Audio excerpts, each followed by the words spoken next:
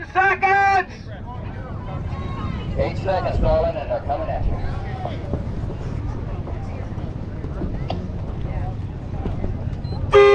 We're past that. Come on, Bob, let's go.